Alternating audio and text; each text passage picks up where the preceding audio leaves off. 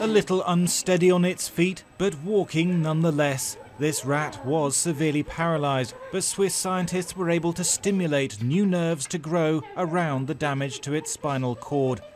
Trained in a special harness, rats regained voluntary movement in their hind legs, willing themselves towards a chocolate treat.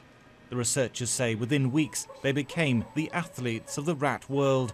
Over time, the animal regains the capacity to perform one, two steps, and then long run, and eventually, a paralyzed rat regains the capacity to sprint over ground, climb stairs, even pass obstacles.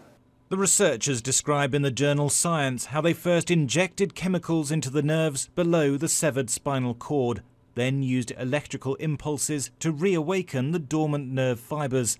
This caused them to forge new connections, allowing brain signals to reach the leg muscles.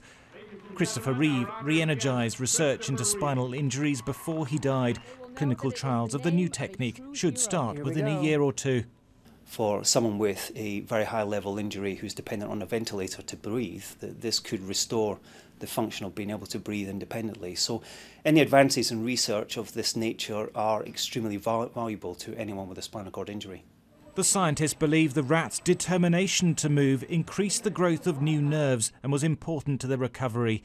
They now hope to design a similar rehabilitation technique for paralysed patients.